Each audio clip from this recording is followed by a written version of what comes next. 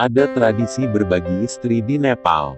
Ya, ini memang terdengar aneh bagi sebagian besar masyarakat dunia terutama di Indonesia, tapi kenyataannya di wilayah Himalaya, Nepal, seorang wanita bisa memiliki lebih dari satu suami.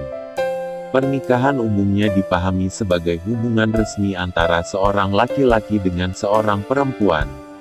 Di beberapa negara memang lumrah jika pria memiliki beberapa istri.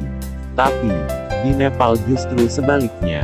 Ritual masturbasi hingga berbagi istri mengutip dari Guardian, di wilayah Himalaya sudah jadi hal lazim yang dipertahankan jika seorang perempuan menikah dengan lebih dari seorang pria atau poliandri.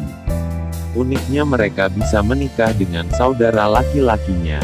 Jadi, jika dalam satu keluarga ada beberapa laki-laki dan mereka memiliki seorang saudara perempuan, maka mereka bisa menikahi saudarinya tersebut lalu hidup bersama dalam satu rumah, berbagi waktu untuk berhubungan seks tanpa cemburu.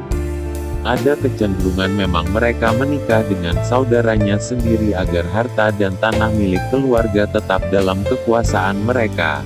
Remaja 13 tahun ML dengan wanita lebih tua kemiskinan jadi salah satu alasan pernikahan sedarah mentradisi untuk bertahan hidup mengingat keterbatasan lahan yang dimiliki. Para wanita merasa yakin karena mereka tidak pernah sendirian ketika salah satu suaminya meninggal, mereka juga percaya bahwa anak-anak memiliki kesempatan yang lebih baik untuk bertahan hidup dan masa depan yang lebih cerah dengan praktik ini.